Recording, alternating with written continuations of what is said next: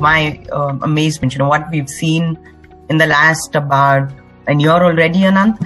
Um, almost about a year now, and we were lucky that we implemented and start got introduced to uh, this at the beginning of the year, and now we can actually compare how it worked before we were working from home in an office environment, as opposed to how it works today in a remote environment as well. So, you know, for us, it's like a single platform where we manage entire workforce real time. The data visualization, the dashboards, the reports that are kind of published today are user friendly.